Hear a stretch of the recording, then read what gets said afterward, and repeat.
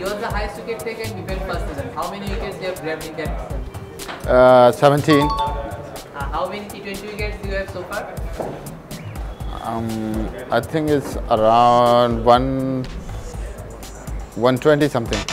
How many wickets did you take for the Kings in the last season? I think it's about seven or eight.